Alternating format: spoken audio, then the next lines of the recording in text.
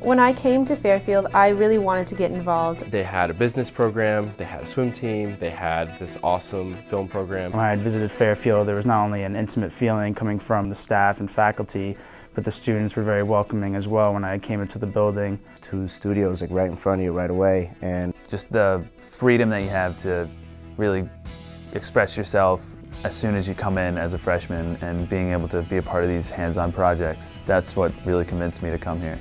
My first semester as a freshman, I got to direct, write, and shoot three projects all on my own, which was really, really cool, like, because I'd never done it before. Within the first month, I was on set, and that immediate hands-on experience was phenomenal for me because I'm a total visual learner, I'm a hands-on learner.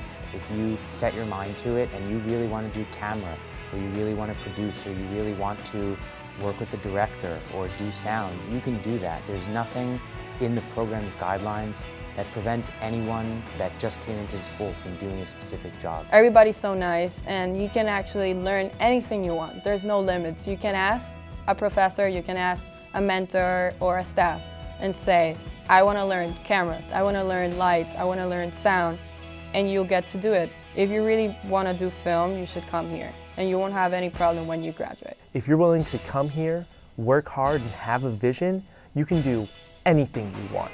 And that's what makes this program unlike anything else. If you want to tell your story, this is the place to do it because they do everything they can to let you have that opportunity.